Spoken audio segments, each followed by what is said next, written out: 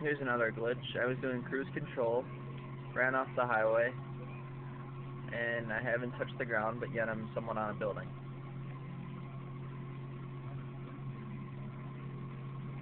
It's almost like the old cop car glitch. If I took cruise control off, there I go. So, see, it was a glitch.